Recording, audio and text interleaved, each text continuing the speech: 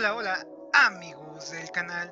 Gracias a su preferencia, ahora al llegar a los mil suscriptores, regalaré dos copias del juego de PES 2020 para tu plataforma favorita, ya sea PlayStation 4, Xbox o PC. Y eso no es todo, también regalaré 3 DLC de modo My Club de equipos partner de PES 2020. Estos DLS traen la plantilla completa en el modo My Club, 200 monedas para gastar en modo My Club y también un uniforme clásico. Para poder participar tienes que suscribirte a mi canal de YouTube y comentar qué es lo que más te gusta de PES. Los comentarios más originales se llevarán estos premios. Hola, hola amigos del canal. Tenemos nueva información sobre la saga PES y esta vez vamos a hablar de una licencia perdida y una licencia que se ha renovado. También la posibilidad de más licencias renovadas para PES y que podrán llegar como equipos partner todavía de PES para PES 2021. Aunque tendremos algunas pérdidas el próximo año de equipos partner. A continuación, explicaré la noticia a fondo y no olvides suscribirte al canal, dar like al video y compartirlo para que esta comunidad siga creciendo. Y comenzamos. Tenemos nueva información gracias a Claudio Cibielo, alias Tati y Renan Galvani. Hoy, lamentablemente, finaliza el contrato exclusivo de Boca Juniors con la saga PES ya que se firmó el contrato en 2018 y ya estamos en 2020 y la vigencia de dicho contrato fue de 3 años. El contrato finalizaba el 1 de junio de 2020, que es la fecha del día de hoy. La nueva directiva Geneise deseaba tener al equipo Boca Juniors sin exclusividad para así tenerlo en dos videojuegos, con un doble contrato para obtener mayor beneficio económico. El próximo año veremos a Boca Juniors licenciado tanto en FIFA 21 como en PES 2021.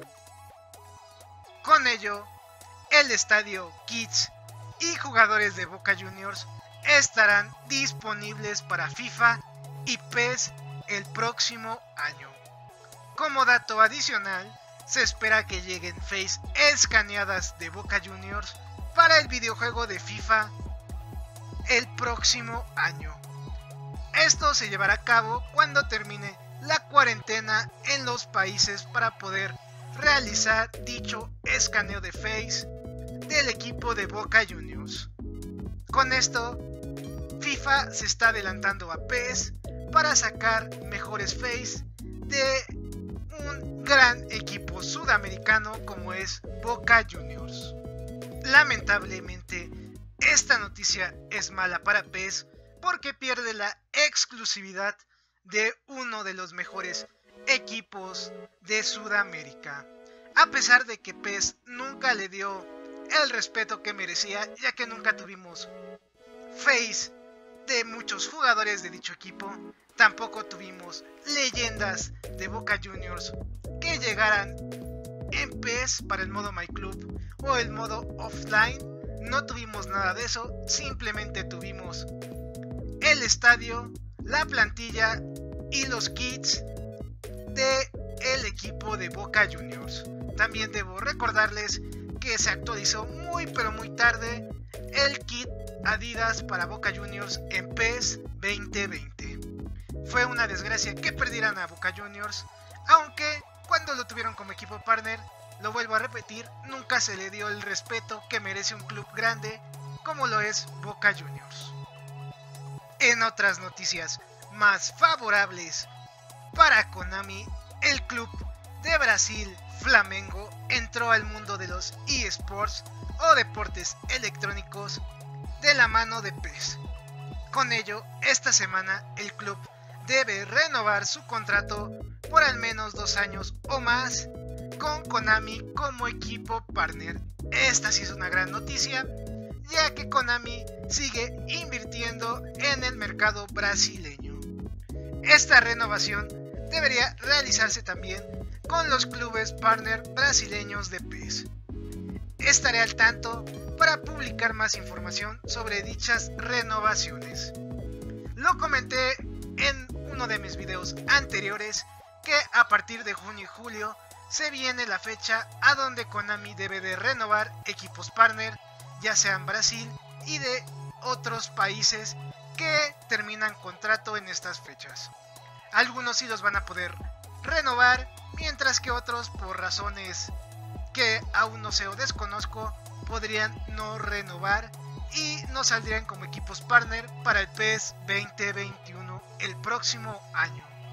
Los equipos partner de Brasil que podrían renovar contrato en estas fechas serían Palmeiras, Flamengo, Sao Paulo, Corinthians y Vasco da Gama. Esos equipos estarían renovando contrato si es que acaba este año alguno de estos equipos, como sería el caso de Flamengo, y si les queda otro año, no se renovaría en este año, se renovaría hasta el próximo julio-junio del siguiente año.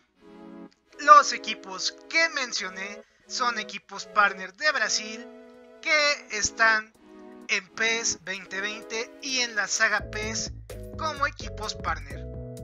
Aunque gracias a la actualización de FIFA sobre la Copa Libertadores, estos equipos que clasificaron a dicha competición aparecen en ese videojuego solamente con escudos y kits reales y nombre de jugadores falsos. No sé cómo estén las negociaciones, pero he escuchado que sí tuvo una repercusión que Conmebol vendiera los derechos de esos equipos a FIFA sabiendo que tenían contrato exclusivo con PES.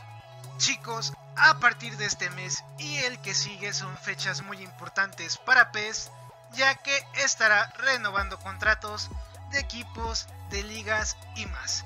Es muy importante que la saga PES tenga en cuenta esto y realice un gasto bueno para la renovación de equipos y no se vea tan mal el siguiente año teniendo pérdida de equipos partner que eran llamativos para usuarios de la saga PES y clientes potenciales para el videojuego de PES.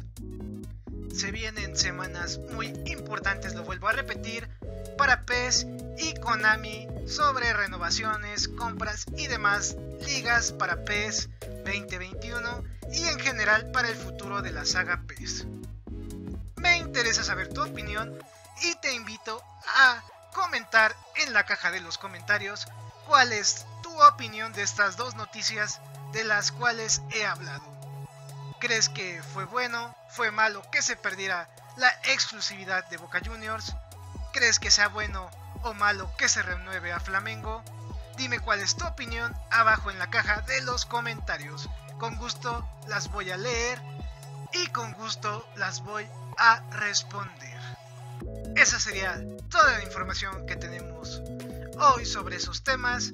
Espero les gustara y les informara. Muchas gracias por ver este video. No olvides suscribirte al canal si no estás suscrito. Compartirlo para que esta comunidad siga creciendo. Y si te gustó, darle like. Muchas gracias y estamos en contacto.